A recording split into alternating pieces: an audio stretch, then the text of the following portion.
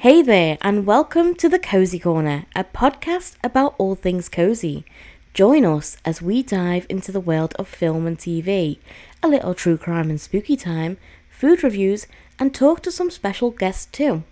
So get cozy, grab some snacks, and settle in, because we're about to begin. Hello, listeners. Emilie here. Today I'm going to be flying solo as Abby isn't feeling too well, but she's doing okay, and hopefully she's going to be right back soon, and we can enjoy some more video episodes and vlogcast episodes when she comes back.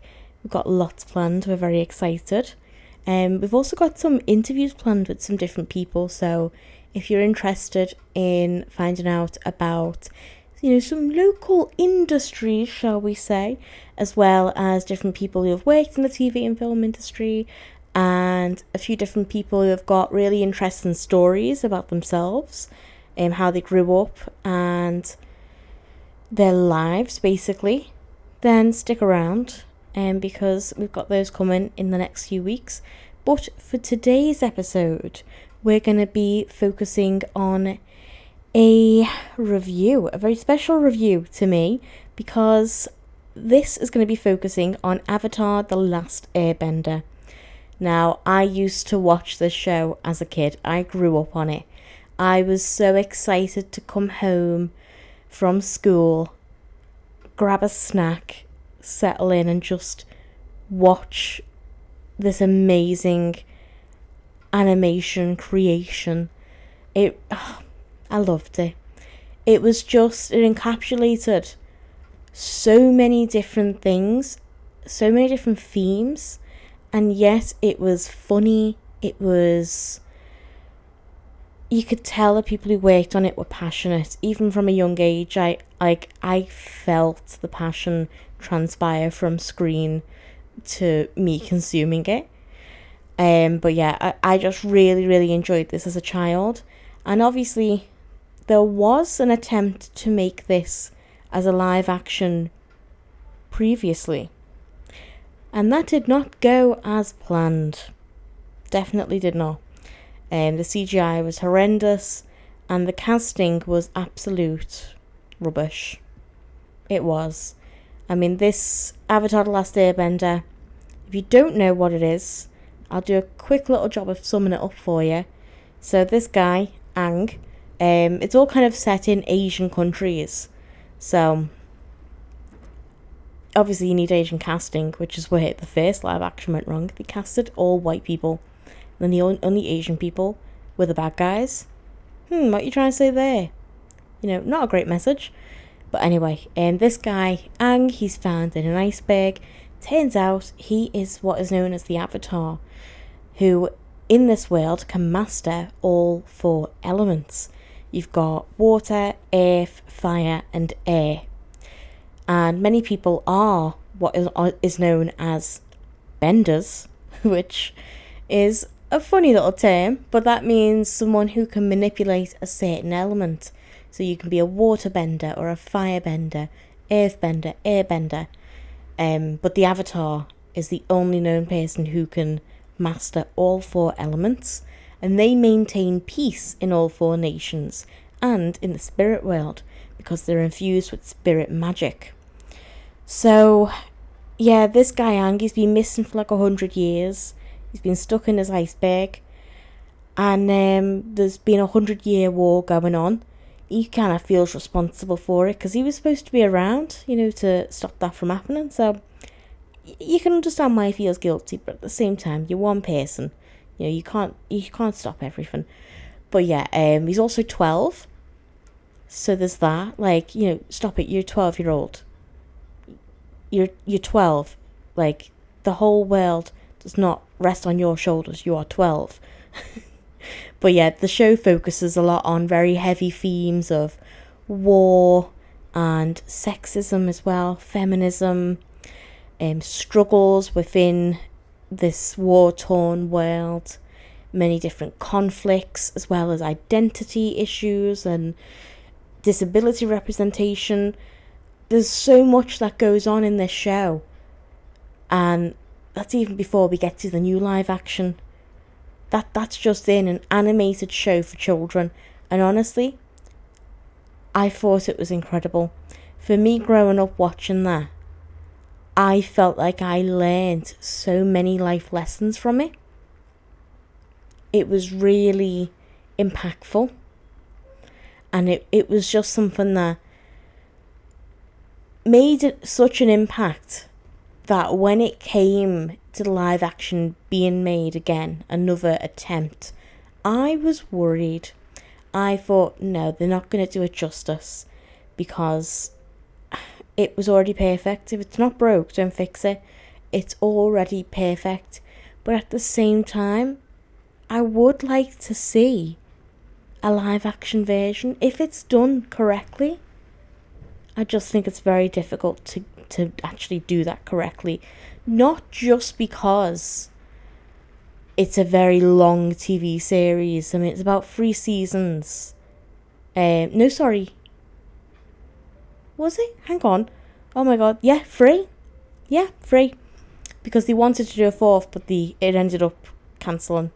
Um, they were gonna do they in the animation series they used to call it book one, book two, book three because it's based on books, um, and comics. But, um, obviously we know these as like series one, series two, series three, but they call it book one, book two, book three. So yeah, there's three altogether. They did aim to do a fourth, but that didn't end up happening.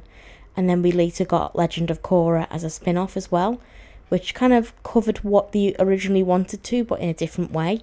Um, so instead of getting a fourth season, they managed to do a spin off, um, which was something. But yeah, I was a bit worried about it becoming a live action. And I, I did think maybe this won't translate well because in animation you've got a bit more freedom with how you can do kind of CGI things like you can create things in animation that you cannot create using computer generated images and effects, you know, practical effects. Some things are just not doable.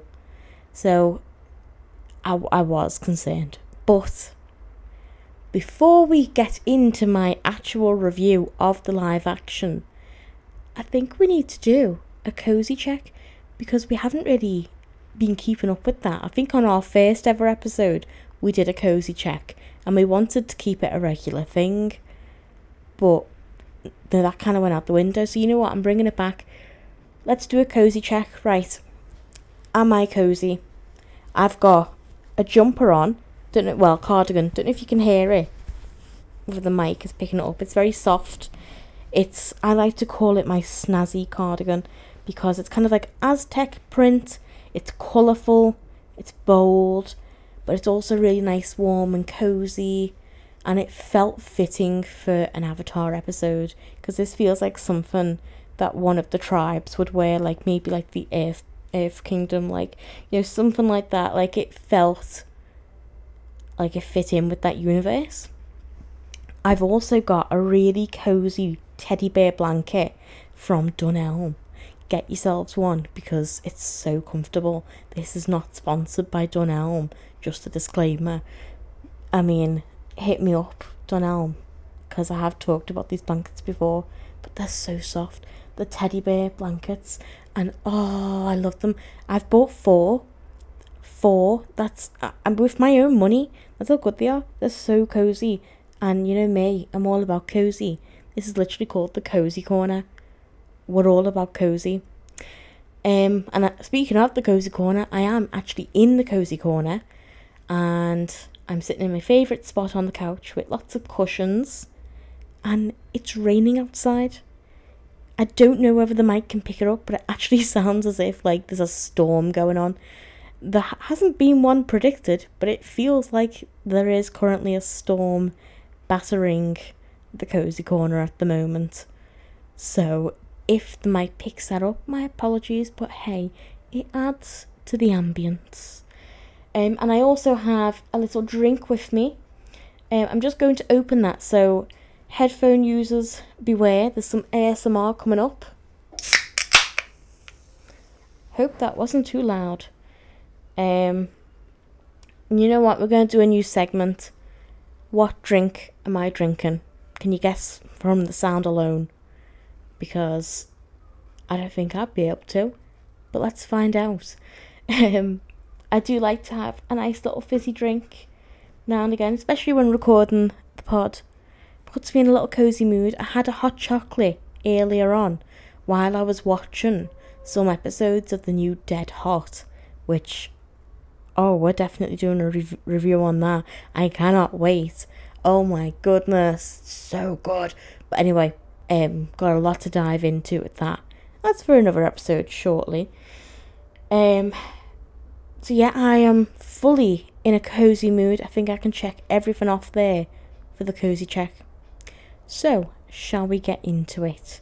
So for my review, disclaimer, I might miss some stuff. I'm not perfect, but that's okay. We're not here to be perfect. We're here to listen to what I think about this show that I used to watch as a kid and now watch as an adult. And you chose to listen to this. So this is your doing. Okay? so I'm not perfect. I might miss some stuff. But I wrote down everything that I can think of. I'm to go through what the biggest differences were between the cartoon, the animation, and the live action. What I think they did right and what I think they did wrong. And then I'll give an overall opinion near the end. So settle in because we're about to get into this.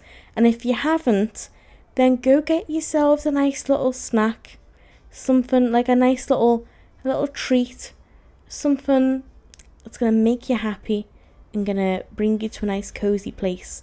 Maybe make yourself a hot chocolate, maybe a cup of coffee with a biscuit, or a nice little cup of tea, or as Iroh would say, why not have yourself a nice little jasmine tea? Now, to be fair, I probably should have thought of doing that for this episode, but I didn't. And I don't want to go make it now. But I do promise you all, straight after this episode, I'm going to have myself a warming cup of jasmine tea instead of, you know, starting a war. Looking at you, Zuko. Um, so yeah, I'm gonna do that later, definitely, and have myself in a nice little cozy mood. Um, I, I do wish I had one right now, but it's it's in the kitchen. It's too far away, and I'm cozy. I don't want to ruin the coziness. If I get up now, I will ruin the coziness, and I can't be ruining those vibes. So we're all just gonna imagine that I've got a warming cup of jasmine tea. But if you have that at home yourselves, go get some, or a green tea or oh, a nice green tea with honey. That's nice. That's lovely. I like to put a little bit of honey in my in my jasmine tea. Um, enough about tea. I do like tea, but enough about tea. Instead, I've got a little fizzy drink that's going to keep me awake because I am tired. I am tired today, and this little drink has caffeine in. That's a hint for whoever's playing along, guessing the drink. It has a bit of caffeine in, but not a lot. Anyway, so the biggest differences throughout the live action compared to the original um, are as follows. So, the beginning, we actually start off in the Fire Nation, which very different because in the original, we start off with Katara and Sokka. They're on the little boat in the Southern Water Tribe. They're cold and they're, they're looking for some food. Sokka's trying to catch a fish. So we start off with them, and then Sokka is a bit sexist, and he, he tells like Katara you, like to stop with her water bending and all that, and she's no good at it. Um, and she gets a bit angry at him, and her anger leads to her being able to water bend a little bit more, because we do learn throughout that water bending and any kind of bending can often be expressed better with emotion. So that's like a little hint of, of what's to come because it does foreshadow.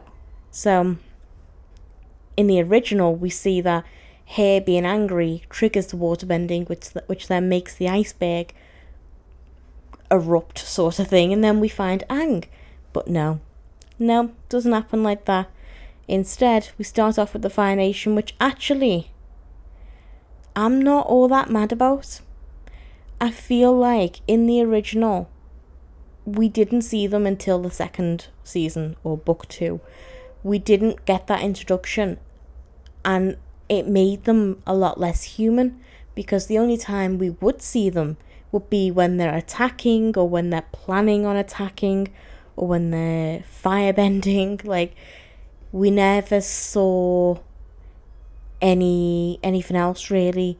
We didn't get an earlier interaction. We didn't get an explanation of how the whole air nomad genocide came to be. And in the live action, that was right off the bat. It went straight into the action. It showed us who the Fire Nation are, what they want, and how ruthless they are to get it. And I feel like maybe we needed that especially for newer fans, people who haven't seen the original and who are just now joining the fandom. Hello and welcome. We love you and you're welcome to be here, but you should go back and watch the animation because it's well worth it. And honestly, there's so much in there that isn't included in in the live action. So like go check that out. But anyway, um I I do kind of agree with this new introduction of the Fire Nation much, much earlier. And I enjoyed seeing like Sozin and learning a bit more about how they planned around the comet and the air nomads and and all that. And then another difference is that in the animation we only heard about the murder of all those air nomads through Aang discovering their bodies, like after a hundred years, what was left of their bodies, all the bones, and we saw the Fire Nation helmet. And you know, you put two and two together and you realise the Fire Nation did this. I actually liked that better. I thought that leaving it to the imagination and seeing it through Aang's perspective added more emotion to it because we felt like we were Aang. We've missed out on that. We weren't there to see it. So I liked it better in the original for that that part, but it was still very interesting to actually see this play out because we didn't get to see it. So although I wasn't a fan of that part, it you know, I'm not all too mad about it. It was still alright we did get to see what happened with Monk Gyatso. Oh, Monk Gyatso. So, so, so, so sad. We love him. Oh, so sad. Um, spoiler alert. he dies. If so, you know, if you haven't uh, seen it, why are you listening to this? But yeah, that's very, very sad because obviously he's more like a father figure to Aang and he's killed, and it's just oh. The only thing that I really agreed with within this whole scene of the genocide of the air was that we got to see more of Aang and Monk Gyatso. We got to see them together more in the air temple and see Aang as a child more, like an actual child, you know, just playing with his mates and having some like quality time with Monk Gyatso and being able to just be a kid, relax, and then he learns that he's the avatar and it scares him. And then he asked, he, he just decides, well, I'm going to go out for a bit on Appa, which is a little bit different again, because in the original, he decides to actually run away because he doesn't want to be sent to the other air temple, which I think was the Eastern Air Temple. I think. So he didn't want to be sent away. So because of that, he ran away. And that's why he, he was, you know, he felt so guilty about then getting trapped in the ice. But in this, he doesn't run away. He just goes out for some air with Appa because that always makes him feel better. And then gets trapped in this wave and then goes in the avatar state, accidentally freezes, and is stuck there for a hundred years, leaving everyone to die which again, I can understand as guilt, but in the original, he had more of a reason to feel guilty because it was actually a choice, whereas this wasn't. So that difference, I would have preferred it if they would have kept it as it was Aang's choice to run away because it adds another layer. You know, he, he's more humanized then. He made a mistake, he made a choice, and it was the wrong choice. But maybe, maybe it was the right one because let's be honest, there's no way Aang would have survived if he would have been left behind with the air nomads, if he would have stayed there he would have been wiped out just like the rest of them because he hadn't learned the all the four elements at that point. He was going to be sent off to learn them. So there's no way he could have survived really. So it seems like it all happened for a reason, as devastating as it was. Um, so in the live action, like the air nomads, we learn that they're at the Southern Temple. A lot of them come from different temples to the Southern Temple because of a festival that brings them all together in celebration. And Sozin realizes that it's the perfect time to strike. And in the animated series, Fire Lord Sozin took advantage of the comet, um, which would later be called Sozin's Comet in his honour. And he decided to launch an attack on the Southern Air Temple but obviously, Aang he escapes. Well, he, he doesn't escape because he doesn't know that's going to happen. But he goes out on Appa and gets trapped in the ice, and then that all happens. Now, in both the animation and the live action, it's not specified the length of time between those two things. When does the genocide happen? When does Aang get trapped in the ice? Is it at the same time? Or is it Aang gets trapped in the ice and then a few weeks later all of the air nomads are massacred? It's not entirely said, you know, it, it's not confirmed, but it seems to be that either is at the same time or they're very close to each other. And then how we find Aang is not exactly how it happens in the original. And I would have liked them to keep it as as close to the original as they could have for this bit because I appreciated Katara's anger in that moment and how it foreshadows her use of emotion when it comes to bending. And of course, we get to learn in the original that Sokka is a bit sexist. I don't think he means to be on purpose. I think he's brought up that way with that belief because in the water tribe, the men were the warriors, where the women were the healers.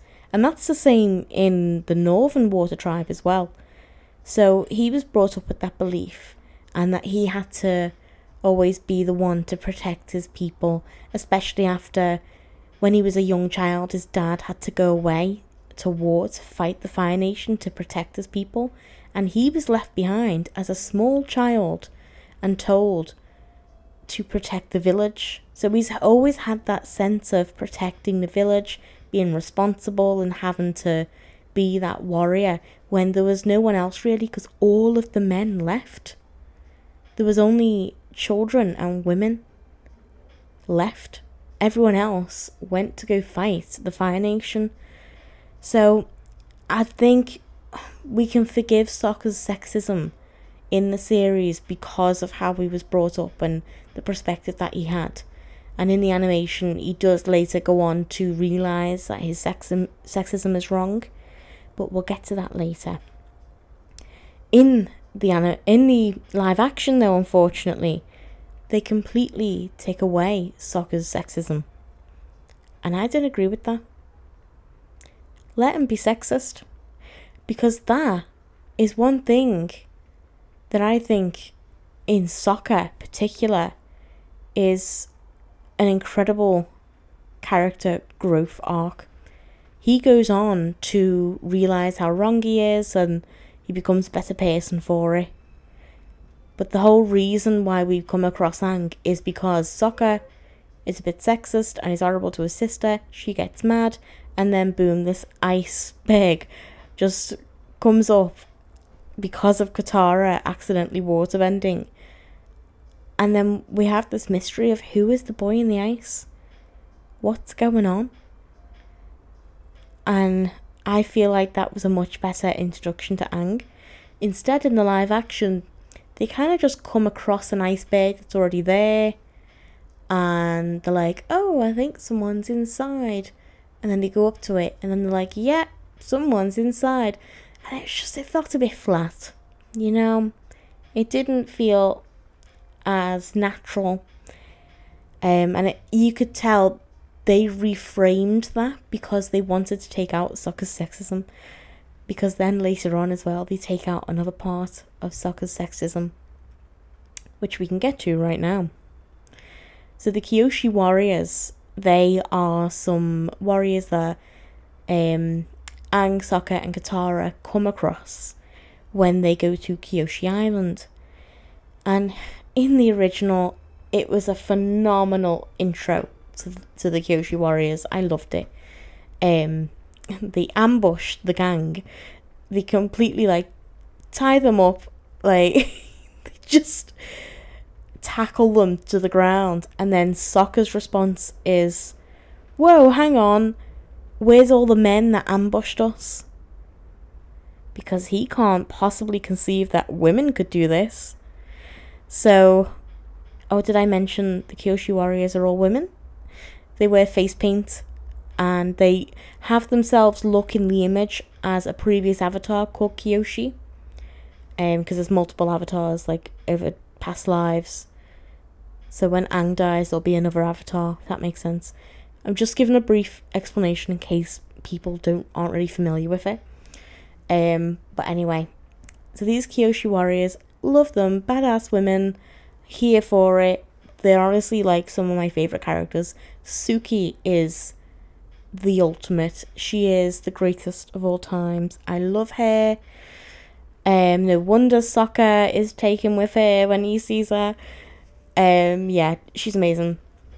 So Sokka instantly is sexist. He's like, you couldn't have possibly done all this, and they were like, well, no, there's no men here. Like, it was us. We took you down, and he just could not believe it. And we go on to once they untie them and realize, oh, you're the avatar, and like you're on our side. It's okay. Um, later on in the original, Sokka tries to like show off his own warrior skills, but completely gets like beat up and his ass is handed to him by Suki. And it's from that that he slowly realizes that actually his ideology of women can't be warriors is incorrect and that actually women can and that these Kyoshi warriors are actually incredibly skilled. They know what they're doing, and they can take down anyone. And he realizes in that moment, I need to put my sexism aside, and I need to start learning how to fight like a Kyoshi warrior, or we're not going to make it out alive, because I am nowhere near as trained as they are. So he asks them, Will you teach me? And Suki, Suki, you know, she's like, Oh, you want to learn from me? Oh, okay. So she obliges, but she does say to him, You can only learn to be a Kyoshi warrior if you do it properly. And that means wearing the costume. Now, the costume is face paint looking like Kyoshi the Avatar, who always did a face paint like a white face, red eyeshadow. I think there's a little bit of green in there, maybe some yellow. And it's, it's very striking. If you Google Kyoshi Warriors, you'll see what I mean. It's very striking. And it's also a dress that kind of has some armour elements to it. And their main weapon of choice, apart from their hands, is a fan. Because Kyoshi herself would often use a fan to amplify her bending. And it just kind of looks cool as well. So, yeah, Sokka in the original trained as a Kyoshi warrior in the whole garb, and then the next minute, Zuko attacks and mistakes him for being a girl. And you know what? They didn't include that in in the live action. They didn't include it. Why? Why? Why? You missed out there. First of all, this was some epic and important character growth for Sokka. We went from disliking Sokka to realizing that he's just a normal person who can be right and wrong and make mistakes and he can change. And that's important. It shows that no no one's perfect and people can change their ideology. I just think that that was a missed opportunity to showcase that in live action. Plus, not gonna lie, I really wanted to see a live action Sokka dressed as a Kyoshi warrior. I was looking forward to it. I couldn't wait for that moment of Sokka being like, Wait, where are all these men who ambushed us? And Suki just being like, There's no men, it was us. Like, we did this to you. But no, we didn't get that moment. So I am very disappointed in that. Because it was just, it was a big moment, it was important, and it really stood out. So they missed the mark on Sokka's warrior arc and on his character growth from being a sexist asshole to being someone who actually really respects and appreciates women and is a feminist himself. So, Netflix, you missed the mark on that. But moving on. Um, Omashu. Now, Moshu Part 1 combined some elements of Jet's story with the Mechanist and his son. And we also get to see Zuko and Iroh in, in Omashu, which was different to what actually happened in the original. Now, I've got to say, some things, you know, so far I haven't been like too happy with, but I really did not mind the combination of these stories. In the original, there are a lot of different stories that we see that the gang go off on and they have little adventures. like they go off and just have some fun, or then they go and save a town from some spirit animal, or then they go off somewhere else and save a town from pollution, and then you know they go to all these different places and have little adventures. At one point, they go into a swamp that is alive. It's crazy, it's fun. If you haven't seen it, go watch it. It's a romp, it's a great time. But because of time, pardon me, sorry, I bet because I've been drinking a fizzy drink. I hope the mic did not like fully pick that up. if it did, I apologize. Um, but yeah, I feel like they did a good job of combining these because it does work well. It's the only thing I didn't like is that they could have done a better job with Jet's storyline. But honestly, I'm not too mad because they were able to make it work. We were able to see Omashu. Um, I mean, the visuals are amazing. They've done a great job of recreating um, the four nations. Well, we haven't seen all four, to be fair, so we can't say that. But the nations that we've seen so far, they've done a good job of recreating them. And I've really enjoyed being able to see Omashu brought to life properly. So I, I did like that. And um, Jet's story, that was kind of on one of their little adventures. Um, they were in like a forest sort of thing, and it was different to this live action portrayal. But to be fair, what they've done is they selected the most important elements, took it out, combined it with the mechanist and his son, is it mechanist or mechanist?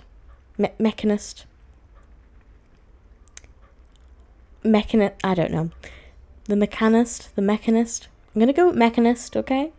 So the mechanist and his son, who is, by the way, disabled, but technically, even though he's not a bender, he does fly because he's like an inventor, the mechanist. So he made his son like a makeshift airbender, if that makes sense. Like he was able to allow him to airbend, even though his son can't walk and he's in, in a wheelchair, he can fly because of their practicality and, and inventions. And I, oh, the casting for for that um role, I really enjoyed the Mechanist. I feel like they were spot on there. Um, and we get to see Zuko and Iroh in Omashu, which we didn't get to see, but I felt like it did fit in well. It it went with it, like it matched the storyline, and it kind of combined well with the others. I do wish we got to explore Jet's story more and actually see how it played out in the original, because that was very different. We didn't see him in Omashu. We saw him, I believe it was on the outskirts, or it could have actually been by a different town. I'm not 100% sure, but we've seen them somewhere else. And we kind of got to understand him and his crew a lot more, which I liked because it offered, you know, a lot more detail. And we also got to see that they had something planned, which was to completely wipe out um, a Fire Nation colony, even though that meant wiping out innocent people. And in the live action, it kind of did the same thing, but just not entirely. Like it wasn't to do with a flood, which is what he had planned. He was going to blow up a dam to flood this Fire Nation town. Well, it was a town that had been taken over by Fire Nation. So, earthbenders that were in there, I think it was earthbenders, um, would have been murdered. But to Jet, that was just collateral damage. That was fine because it meant being able to take out the firebenders. So he's quite an extremist. We do get to see, you know, many different sides within both the animation and and the live action. We do get to see different sides of things, which I really find interesting. I think it's good to show that, but also it's good to see that people can do extreme good, but then there's extreme bad. And then there's people who are in the middle, kind of like Aang. So yeah, it's an interesting one. Um, Omashu Part 2. So we get to see Bumi um, and the secret tunnel. Secret tunnel, secret tunnel, through the darkness. No, not through the darkness.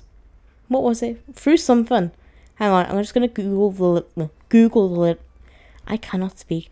Google the lyrics. There we go. Because I need to know this.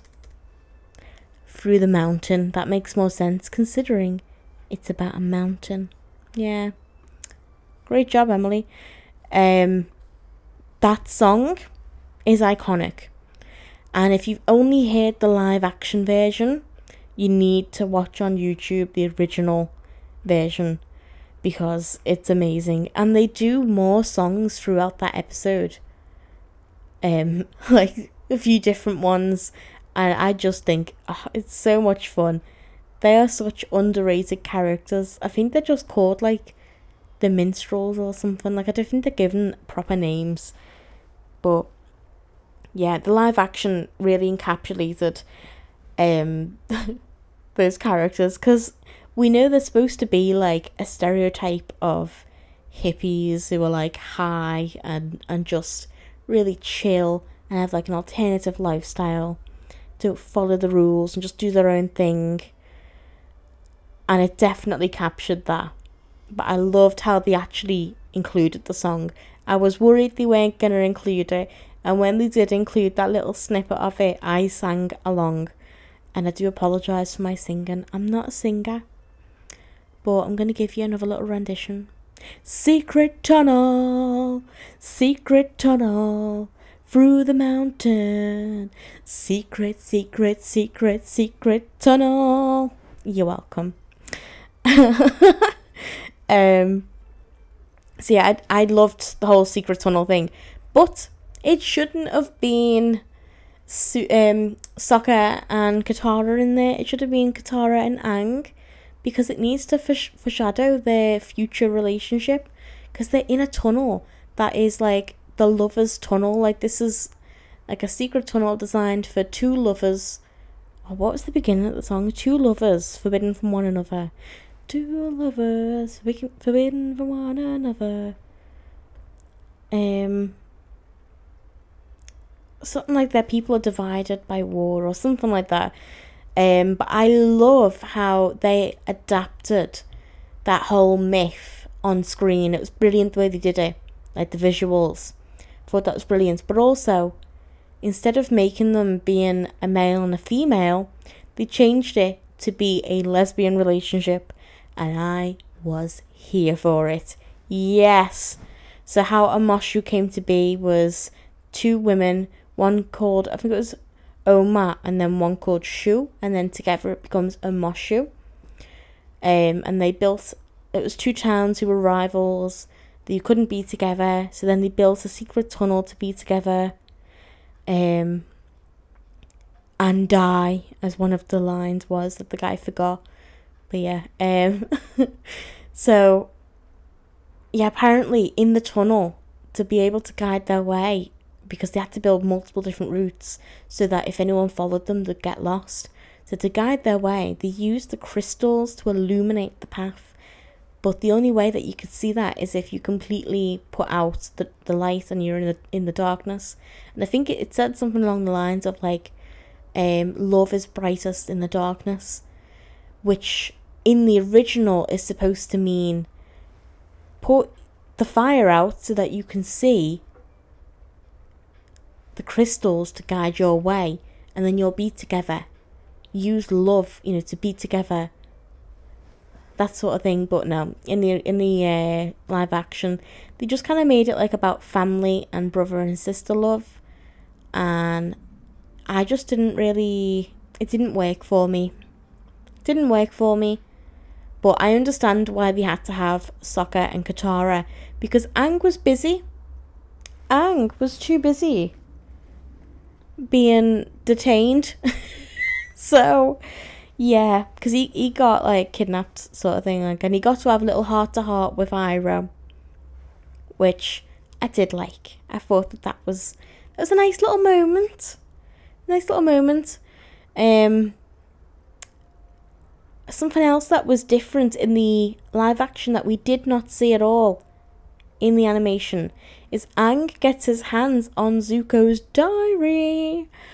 The drama. But it, it's not just any diary, it's like this diary about all the past avatars. So it's all the info that Aang needs because Aang wasn't really taught how to be the avatar. He was supposed to be sent away, wasn't he? So he never really got any information on the avatar, how to be the avatar, who his past lives were. So this diary fills in all those details. And you know what? I enjoyed this detail because it fills in so much that we needed. Like it helps guide Aang a bit more, and I feel like, yeah, that works. So I agree with that. I feel like that was that was a good add-in, really.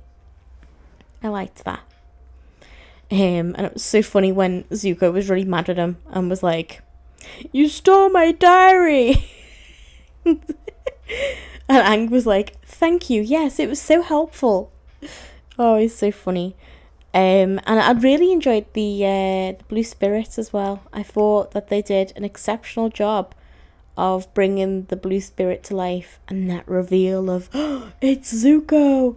Now, obviously, I already know that because I watched the original. But when I was a kid watching it, I remember being really shocked was anyone else or did everyone already work it out? Because i was like who is this guy? Who's the blue spirit? But nah um it seemed like a lot of people did know that it was zuko. I i remember thinking as a kid could it be zuko? No i was like no zuko would never save the avatar. But then like as i grew up it makes sense that he would want to save the avatar because he needed to be the one to capture the avatar to regain his honor. So yet it made more sense when I grew up, but I did not expect that when I was watching it as a child. But let me know, like, did you guys see that one coming? Maybe it was just me.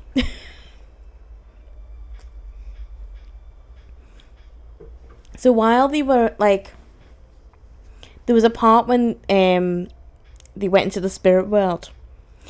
Now this um, I've got mixed feelings on it. I do have mixed feelings because I enjoyed when they would go into the spirit world very much um, in the animation, but I feel like the live action didn't quite do it justice. it wasn't as interesting. It was more just spooky and scary. Which, yeah, that's fine. That's a vibe too. But, like, the spirit world was much more vibrant and interesting and crazy. And also, they did the same thing here, which it's for time, it's for pacing. I get it. This is a Netflix series. It can't be like three series long and have like 20 something episodes in it. It can't be. This is, I think it was like, what, like, was it eight episodes or six or something like that, wasn't it? I have watched it, I promise. It was just, I've watched it a while ago and I've been watching other stuff since. I'm gonna check on my phone now how many episodes. I feel like it was six. Um, let's see, Avatar. So I, I do feel like for the pacing and all that, obviously they've got to merge storylines. They've got to be able to cut things out or change things. It was eight episodes. Um, so to be able to fit into those eight episodes, things are going to have to change. I get that. And for the most part, I do think they've done a good job. It's just a bit disappointing when some of your favourite things aren't included. Because they mean a lot, especially when it's a nostalgic show. I watched this as a kid. I grew up like consuming this every day after school. It was all everyone talked about in school. So then being an adult and watching it, and I did watch, I rewatched this during COVID times. The animation, it's like you know half the population did. It became really big on Netflix during COVID when they were able to acquire it and put it on there. Everyone watched it for the nostalgia factor. And I get why, like I loved it. I watched it and then I watched Korra right after it. Um but getting back to what I'm saying about the spirit world, like things do need to be cut and merged. But I feel like they did this a bit a bit it was rushed. It it just felt wrong. The pacing felt off. And I just didn't fully agree with it because they merged different storylines from different times when they went into the spirit world from the animation. Because in the animation, there's different times where they go to different places and then they've gone into the spirit world in these separate locations and met certain characters like the owl or the fox and then there was like an appearance from Katara's mum and people got separated and all that. But they were all on different occasions and it wasn't where they are now. And there was also a moment when, before Aang gets kidnapped and has to be saved by the Blue Spirit, aka Zuko, um, Katara and Sokka actually become really ill, and Aang has to go and look for medicine. And it was during that that he runs into some trouble and gets kidnapped and has to get saved and all that. Um, and I could tell they were merging that kind of storyline, but using the spirit world instead of them becoming ill because they needed to be able to separate the gang. They needed to be able to separate Aang, Katara, and Sokka, but have Katara and Sokka still be near each other because that's what happened when they got ill. So they needed that same scenario, but not them getting ill um, they needed to use the spirit world as well. So I could tell, I could just see through it that like you're doing this for convenience sake and you're merging storylines and it doesn't quite fit here. So we ended up seeing um, an owl in the spirit world. I've forgotten the name of the owl, but he's a very, you know, wise person and it's one that we actually don't meet until much later on in the original series. So this was quite a shock. This was like, whoa, what's this guy doing here? Why why have we got the big owl guy in season one? like, what's going on? Um, so that took me out of it for a minute. It took me by surprise because we don't meet him until they're in a library underground in a desert. And then they have to like bargain with him and exchange knowledge for their time to be able to look around the library. You have to exchange knowledge to get knowledge or something like that. But instead, this owl, He's not the protector of the library or anything like that, which I thought was a great storyline.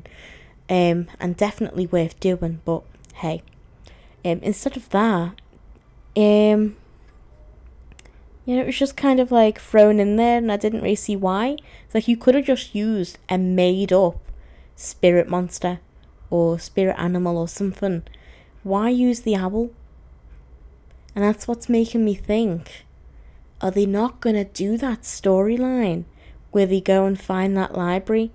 Because that is actually incredibly important.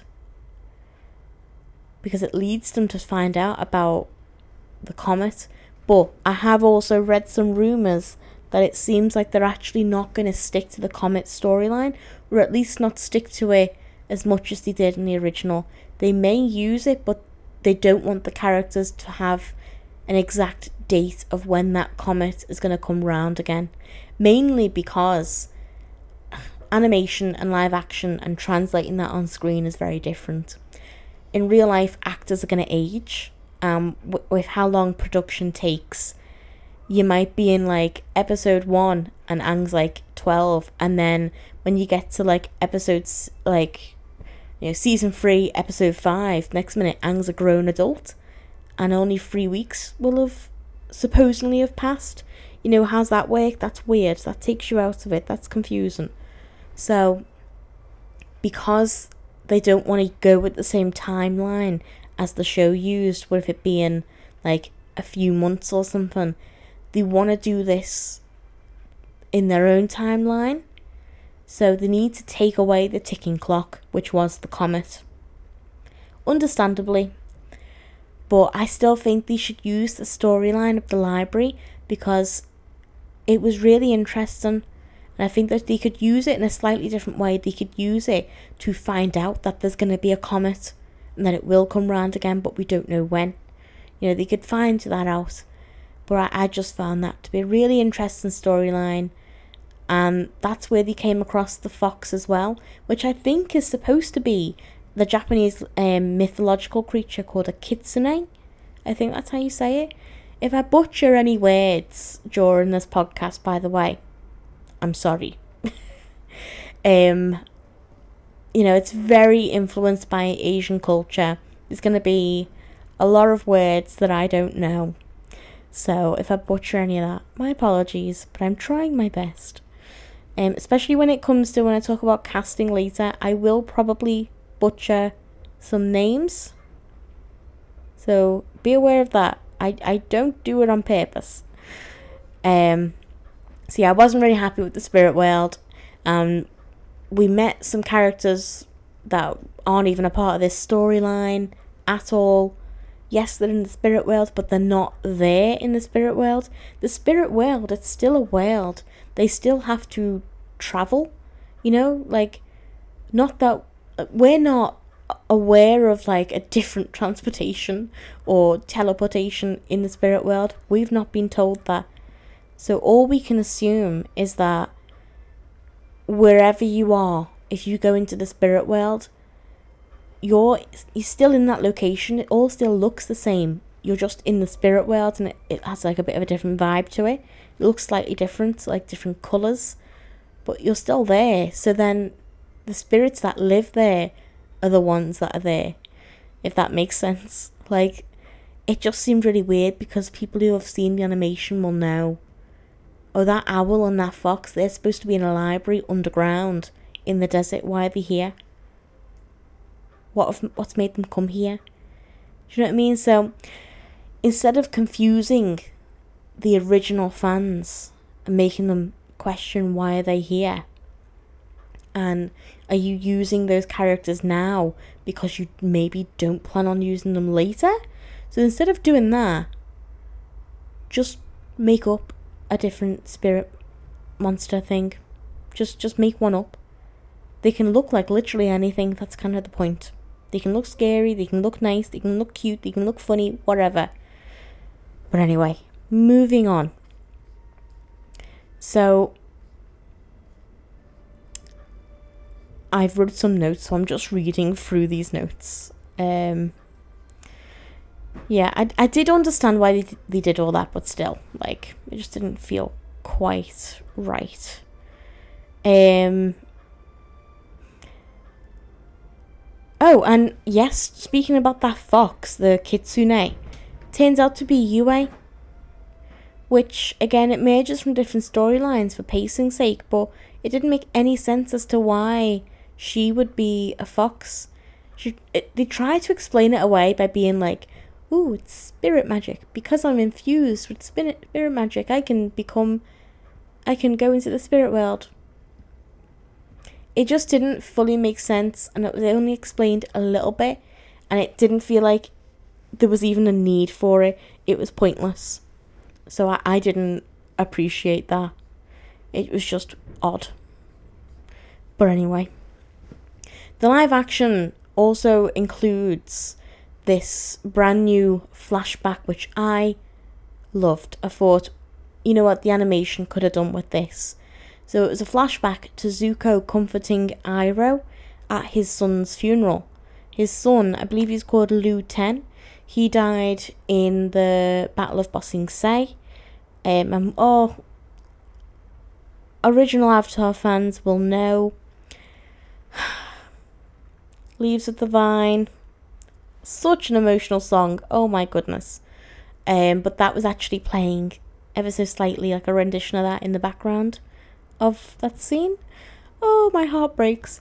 Um, but yeah, I feel like we needed to see that kind of scene where Zuko and Iroh are they're grieving at the funeral. It really helps to it helps to humanize these characters, and we don't get to see that a lot in the original, which I feel like that's where the original could be improved.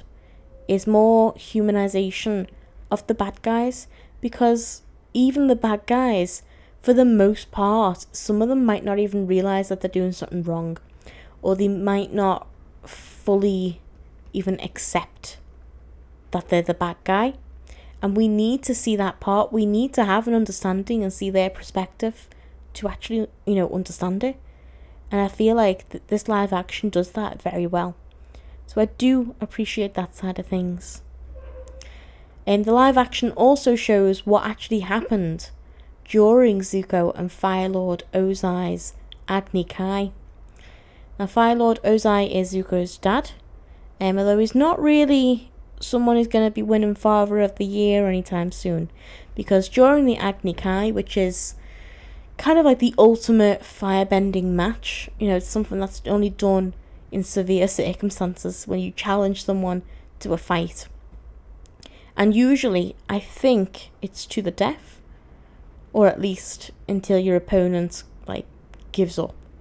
So, yeah, we actually saw what happened there, and in this version, Zuko fights back. He doesn't want to, but he does fight back. We didn't fully get to see like kind of what happened. It was more just implied. Um, so that was that was really interesting to see. Again, it helped humanize Zuko more we got to see how he got that scar officially and it was really interesting to see that it was actually in front of everyone including his sister azula and i thought that her intro has been quite interesting I, I have mixed feelings on that because i really enjoyed and probably favour the animation um like that version of her intro because i enjoyed the mysteriousness around her and not knowing who she is and what she's like until we get to see her interact with people. But it was interesting to see this different perspective on her in the Fire Nation and how she interacts with her people, which isn't very nice, and how what her relationship is like with her dad, which for me, the original Azula would not have been as approval seeking as this Azula is. But maybe that's just something that we didn't see in the original. I feel like she was. The live action Azula was really trying to seek her father's approval, and that is what meant the most to her. Whereas the Azula in the original didn't care what anyone thought. She wanted to show her father that she could do all these things and that she's better than Zuko, but her main driving force was power and showing everyone that she deserves to be the rightful heir to the to the throne, not Zuko. So it wasn't really about approval, it was about power. That's where I feel like the motivation differs. And I'm not quite sure which one is better. Maybe I, am just too loyal to the animation, but I'm leaning more towards that for like Azula's introduction and motivation. Um, and we also finally get to see June, which, oh, I was waiting for this. I really like June. I know I shouldn't, because, like, she's kind of like a bit of a bad guy, but at the same time, she's so cool. She's just, she oozes coolness. And I love that. Um, but yeah, she's not, really on anyone's side. Yeah, she's neutral, but at the same time, if you have got the money to pay her to be a bounty hunter and go kidnap someone, she's loyal to you then. So her loyalty can be bought, and like I respect that though, because she's always like said she's not like on anyone's side. It's just about being a bounty hunter. So I get it. I get it, June. She's loyal to the coin. I get it. Um, but yeah, I thought the casting for June was perfection. It was amazing. Everything. And then the CGI as well of um her animal. Oh, was it Nala? Nyla? Nyla or Nala? Um perfect as well. The no notes. No notes on June. She's amazing. And yeah, the kidnapping of Aang is a bit different, but it still holds very true to the actual storyline and doesn't really change anything overall, so no notes. The scene at the Water Tribe, um, the Northern Water Tribe, at the Spirit Oasis, that's a bit different as well because Aang was actually in there and he did go into the spirit world in there because that's one of the most spiritual places. So that was a bit different, and Zuko actually like confronts Katara in the Spirit Oasis in the original, and tries to kidnap Aang, and it's like a whole thing. Um, and then they have like a heart to heart and all that, and it's I prefer that. But hey, it wasn't overall too different. It didn't make me really like annoyed, so I was okay with it. I'll I'll let it go. It's okay. But yeah, um, Yue's sacrifice and all that. That was again heartbreaking. Oh, Sokka. His first girlfriend had to go be the moon. So sad. Um, but they kept the storyline all there very, very, very similar.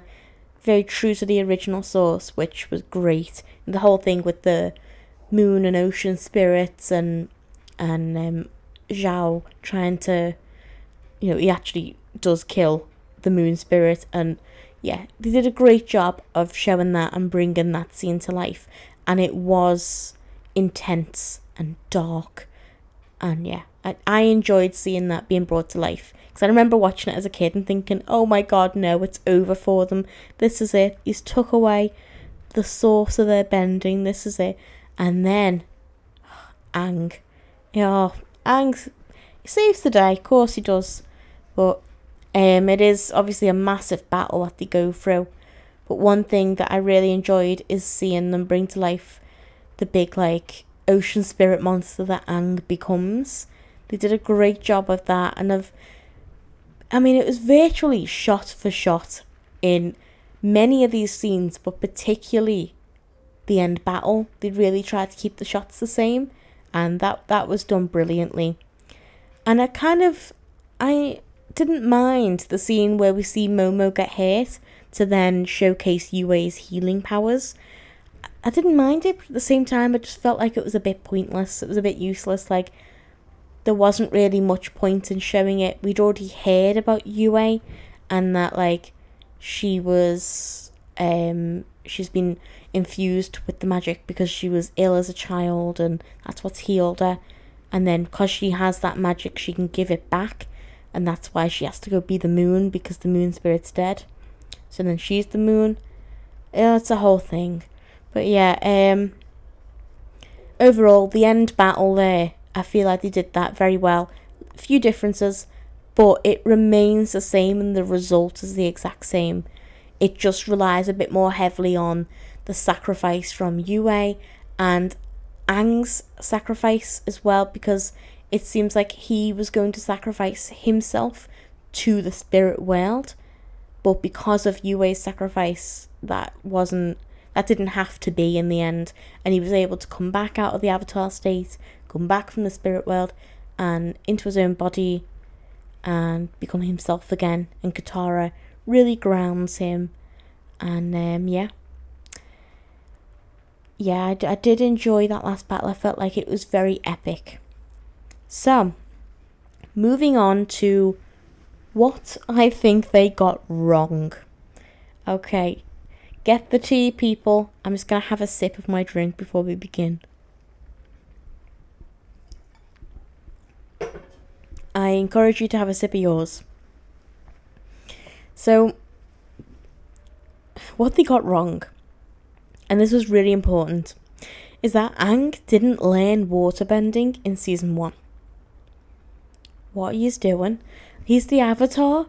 The point of like going to the Northern Tribe and all that, and being the avatar is to learn the elements yes, you're 12 and you've been frozen in ice though for like 100 years, so technically you're 112. Get your ass into gear, Aang. Come on. you need to learn how to waterbend. And you run in to a waterbender, Katara. Yes, she's not amazing, but she knows some stuff. She knows some stuff. She does get better, but you know, she she has potential. Why are you not learning how to waterbend? while you're on your way to different places like the water tribe, you know, the the northern water tribe, when you're like in Omashu and all that, why are you not learning to waterbend? What you doing in your downtime? What you doing, Aang? It was so important in season one in the original that Aang would learn how to waterbend from Katara, and there was actually a very important moment where Katara was teaching him and she wasn't the best at it at the beginning. She's still learning because in her tribe, waterbending was banned really because the Fire Nation were obliterating all waterbenders. So any sign of a waterbender and she'd be dead. So just not waterbend. She'd witnessed her mum be murdered because her mum said that she was the waterbender that the Fire Nation were looking for, and she wasn't. Katara was. So you know, she feels guilty about that, obviously, but not her fault. So, we know Katara hasn't really had a lot of practice, but she has the ability. So she can try and teach him. But yeah, in the original, um, Katara gets mad at Aang because Aang picks up waterbending so fast.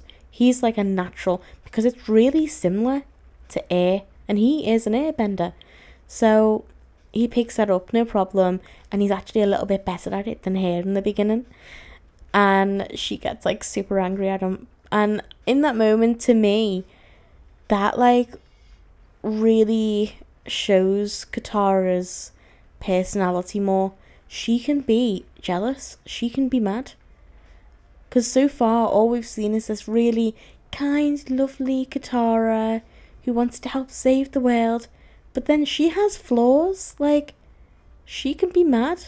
That's what I loved about the original is it really explored Katara's personality.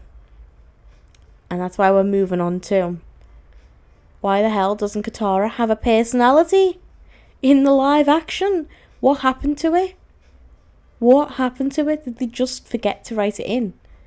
It's so bland. This is not having a go at the actress. Right, she did a great job at what she had. I think it's the writing. Right, I'm not great at her name because I, I am awful at pronunciations.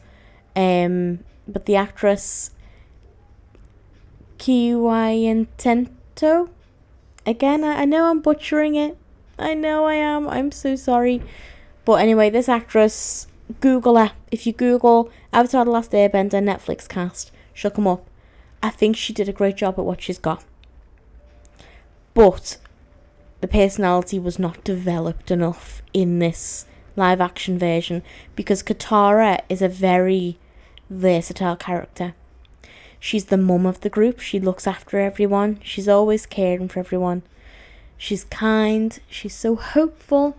She's generous. She's always wanting to help people and look after people. But at the same time, she knows how to have fun as well. Like we see in season two, she like knows how to like cut loose and have some fun and be a kid.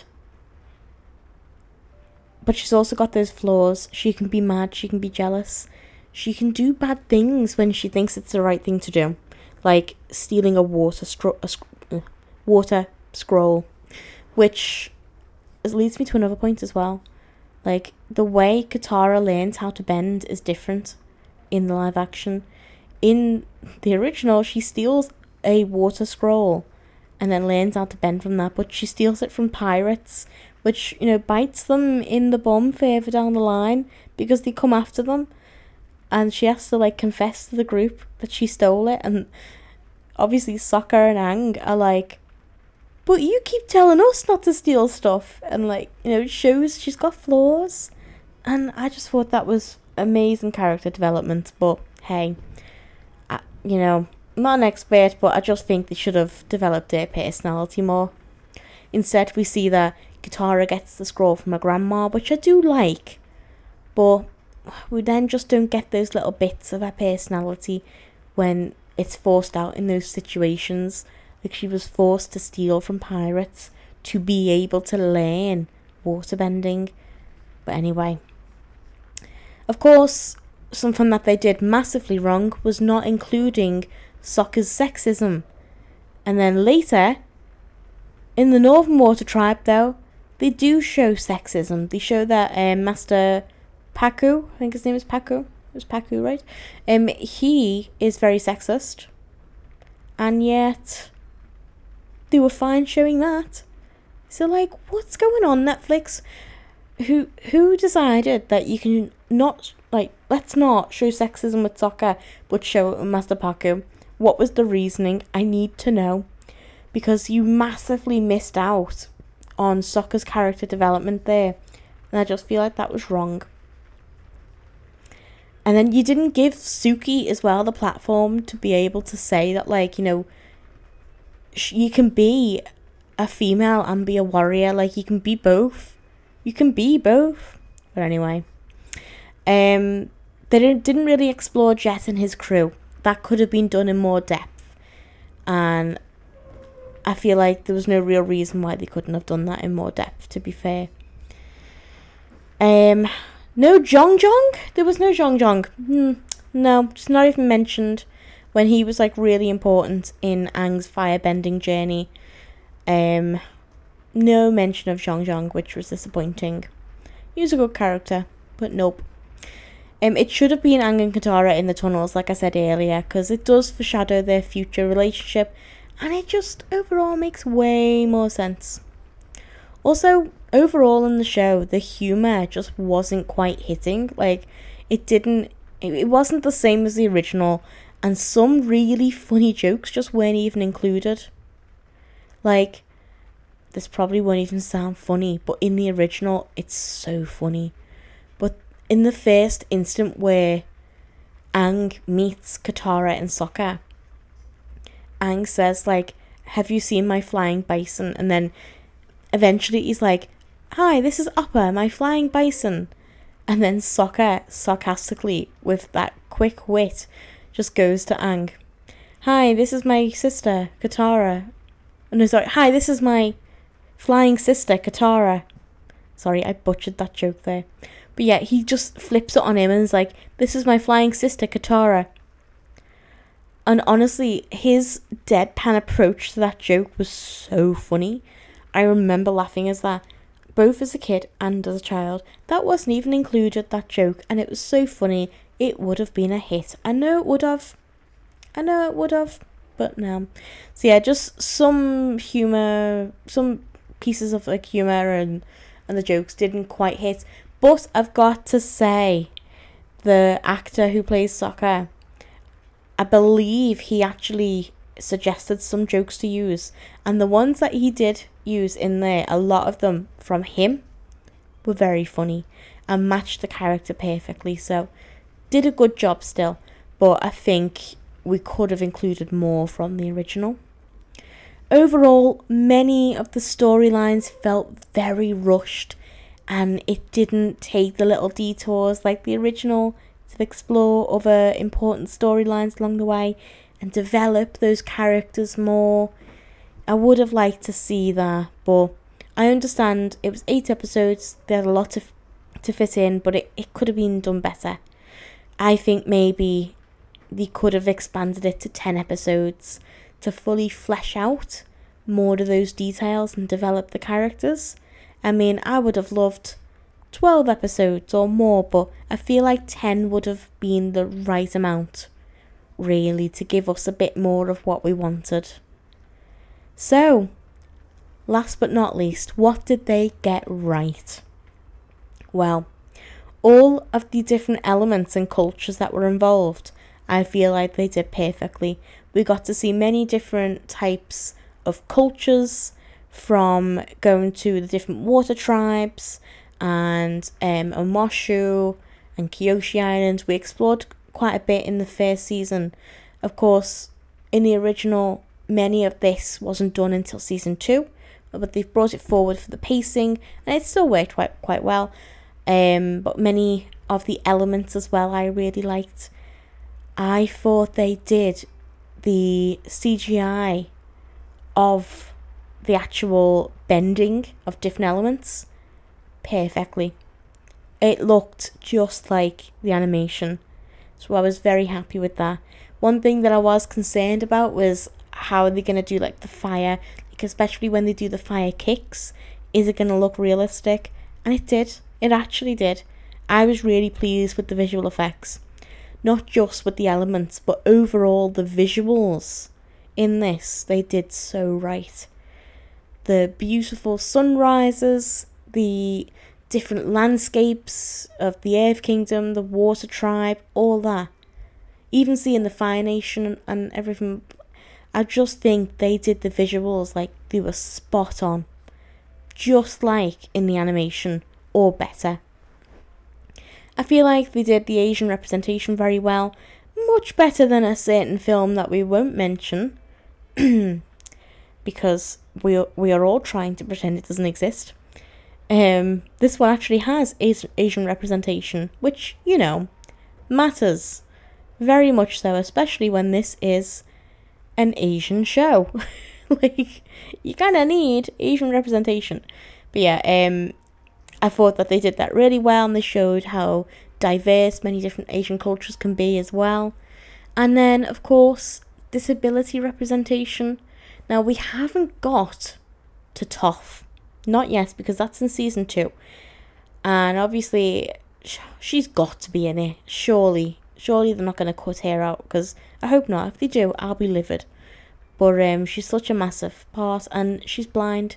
So, the original did a great job of showcasing disability representation in season two. But we haven't got to that yet, so we can't say but what we can say so far about the disability representation is that we've seen that um, when they got to Omashu in the live action um, with the merged storylines of the Mechanist and his son. Now, his son doesn't have the use of his legs, so his dad built him kind of like a makeshift wheelchair, but it can also fly. So they kind of act like they're airbenders a lot of the time and they do fly, Aang actually mistakes them for airbenders and he's really upset when he realizes that, that, that they're not because he's the only one who's left. So, like, it is devastating, but he understands and he gets over it after a bit. but yeah, I enjoyed that representation showing that even though these people are disabled, they still bring a lot of worth to the storyline, a lot of value, they can fight, and they're able to actually contribute to this storyline and push it forward, which they did because this character, um, I've forgotten his name now.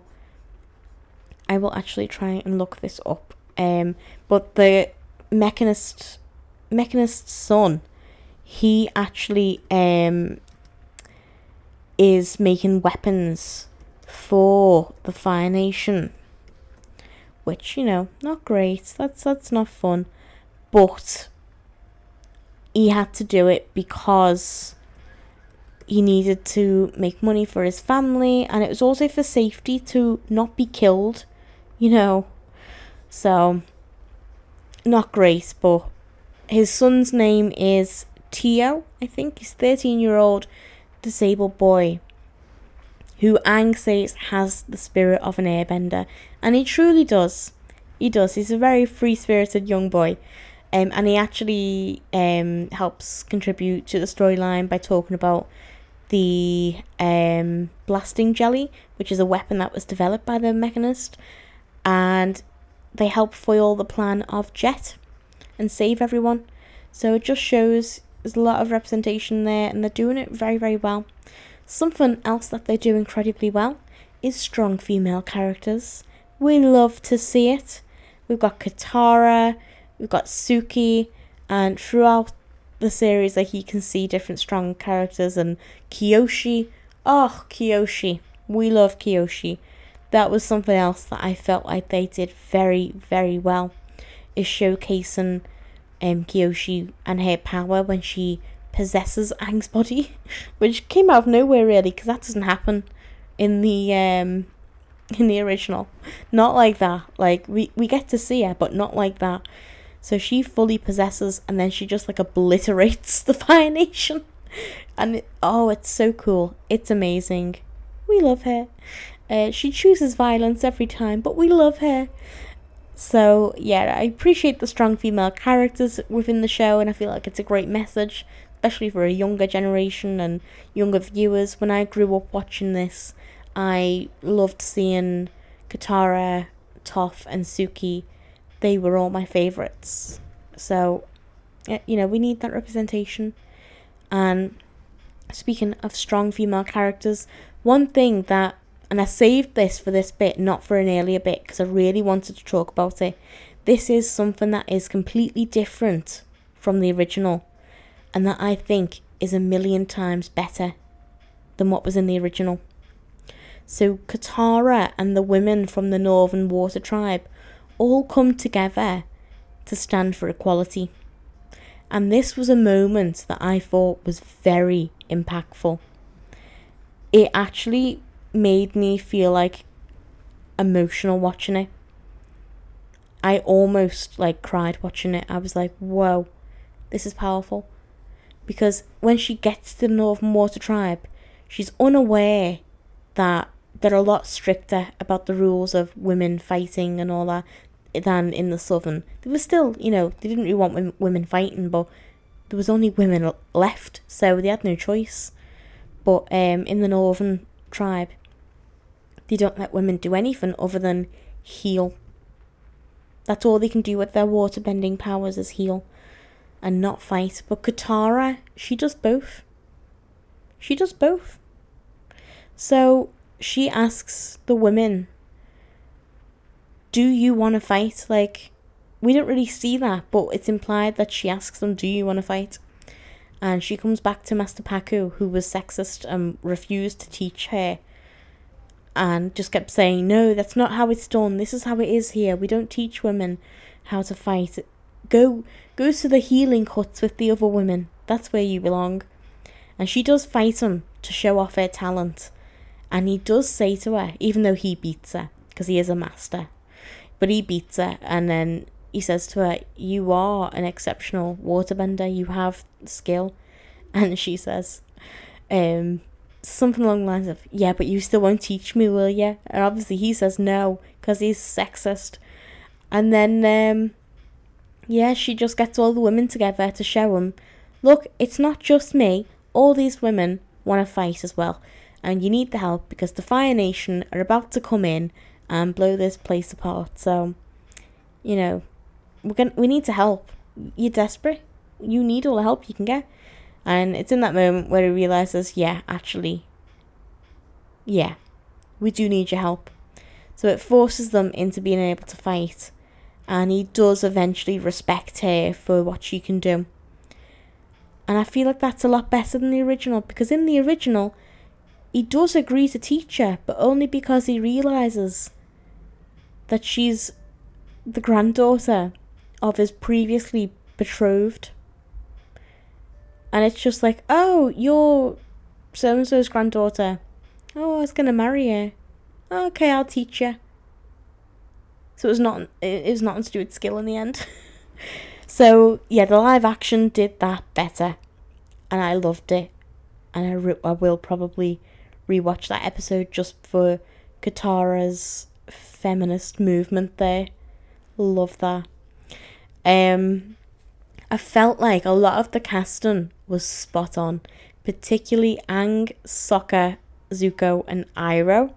The only thing that I would give notes on, you know, obviously as an expert in acting, I'm kidding, I'm not, I, I do not act, but I am a, a avid consumer of content, especially TV shows.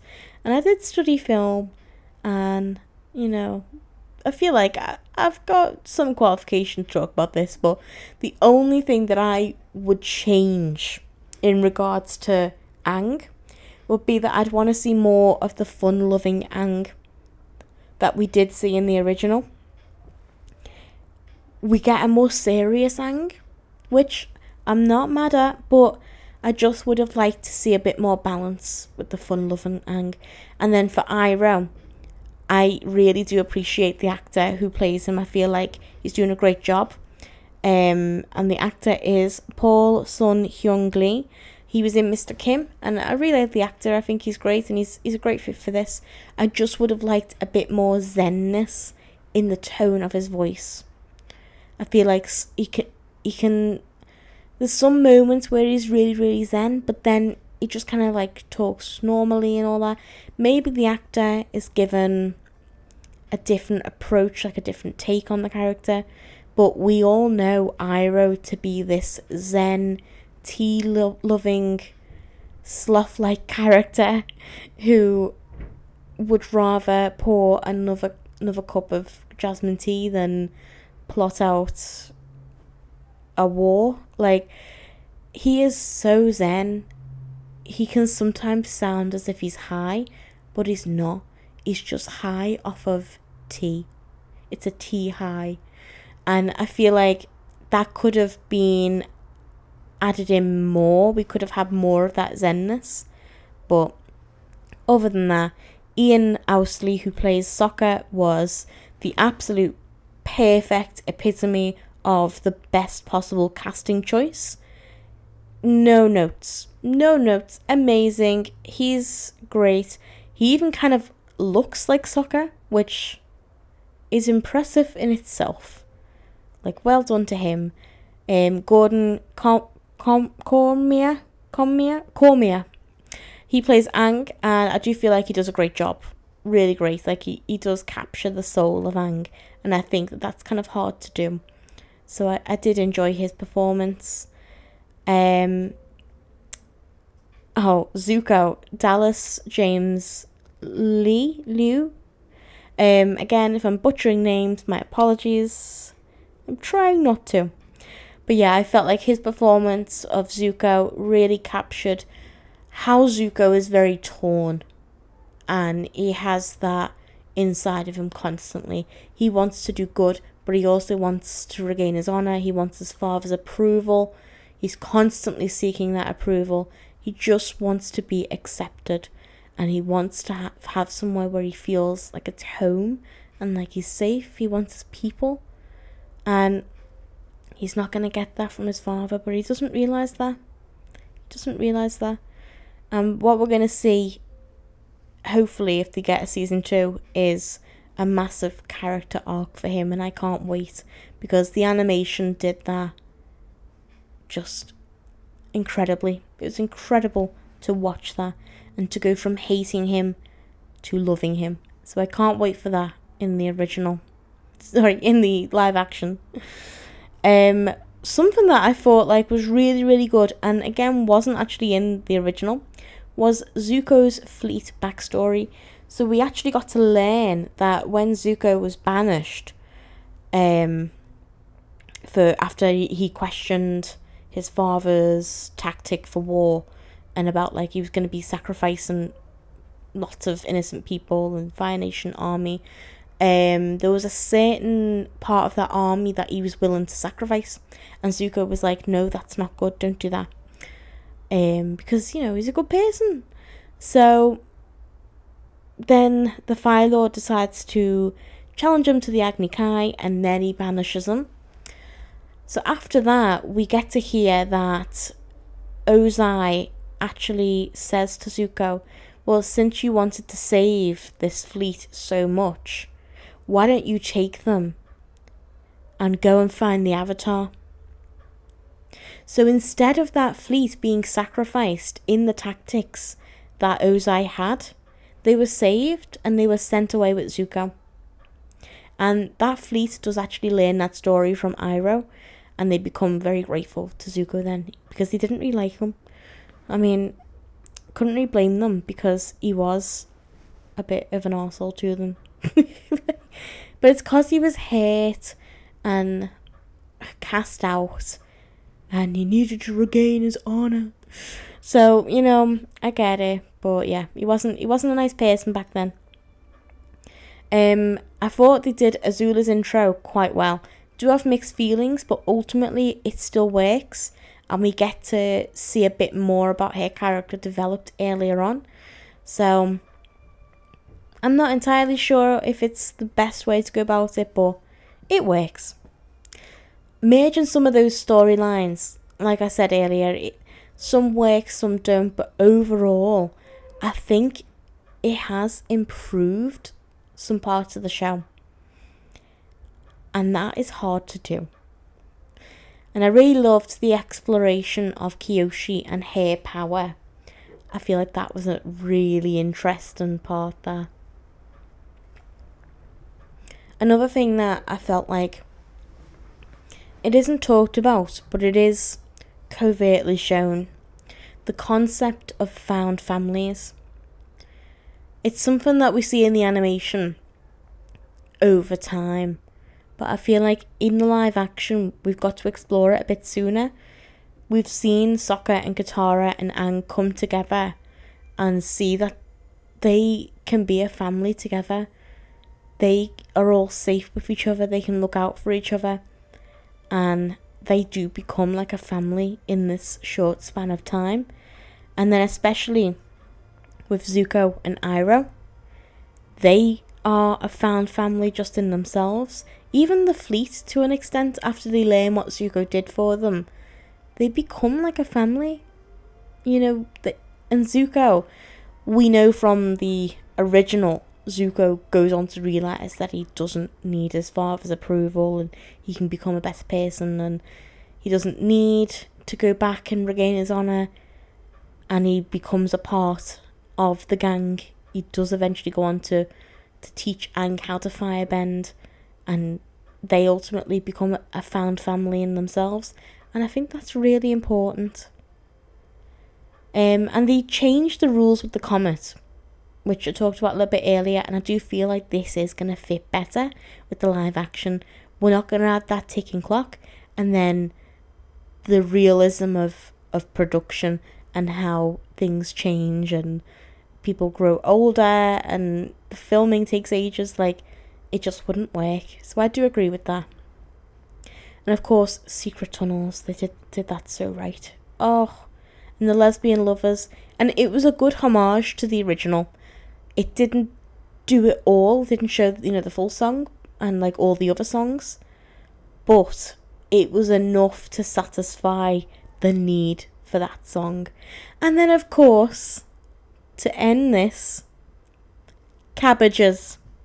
We got the Cabbage Man. Oh my goodness, and it's the original guy. The original voice of the Cabbage Man came back, reprised his role, and said the iconic iconic phrase. Oh no, my cabbages! Oh my god. He, honestly, you know what? He's the best character. I think he's the best character. He really is. He shows up everywhere. I love it. And we even got to see like the little bits like entering Omashu. They wouldn't let him in and then they like earthbended his cabbages off and over into like the abyss and that's exactly what happened in the original. So like that was fun to see. And um every time Aang's fighting someone it's like the cabbage man just follows them everywhere but accidentally he doesn't mean to go where they go but he's just everywhere that they are. So then when Aang is fighting firebenders he accidentally gets in the middle of it all and then his cabbages are just destroyed and it's the best long running joke in the series. And I can't wait to see more of them bring on the cabbages. Well that was my in-depth review of Avatar The Last Airbender live action, and overall, I feel like they did a pre- pretty decent job of bringing it to life. They can't bring everything to life, it's not doable, but they did a good job with what they could work with, with what was possible. I would have liked to see maybe a few more episodes, maybe 10 episodes in total, but other than that, yeah, I think they did, they did a good job. I just wish they would have brought the sexism back into it with Sokka and you know, some other little bits that would have really developed characters more and, and they should have just gave Katara a personality. Oh, that that let things down. But overall, for me, I'm gonna give that four out of five stars. i am taking away that five star because they needed to develop Sokka with sexism more. That was a vital part of his character. Katara had no personality, and then they could have done some some things a bit differently and a bit better. But yeah, four stars. I'm happy with that. I think it was really enjoyable, and it's one that I'll watch again. And I think the way that they've done it, it works perfectly. Whether you come into the fandom as someone who watched this as a child or whether you're brand new to it, you've never seen of it, and you've never even heard of it. It explains everything at the beginning, like it really builds the world. Sometimes my only other critique would be sometimes it does do a lot of of telling instead of showing, which could be better, but still, it's a very decent adaptation and it will be an ad- adaptation. It will be a remix. It's not going to be an exact repl- replica because it can't be. So yeah i did enjoy it. It's entertaining and i'd watch it again. So thank you so much for listening. I hope you've all really enjoyed listening to me ramble on about my review of avatar the last airbender live action. Um it's something that I've been looking forward to, and I'm I'm glad that I could I could get to review it finally. Let me know in the comments what you thought of it. What did you think they did right and what they did wrong? And what would you like to see better in other seasons if they do get more seasons, if they do get reviewed, which I hope they do. I want to see Toph. I want to at least see Toph, so I hope they do get renewed. Um, but yeah, if you enjoyed this episode, don't forget to subscribe on whichever platform you're listening on and leave some feedback. You can rate us on Spotify and I think on Amazon Music and maybe Google Podcasts. I'm not too sure. But yeah, rate us and make sure to click the notifications as well so that you get notified every time there's a brand new episode so that you don't miss anything. So I hope you guys really did enjoy this. If you did, let us know. Let us know on our socials. We are Cozy Corner Pod, I believe, on all socials. So have a little look. Go follow us there if you're not already. And stay cozy.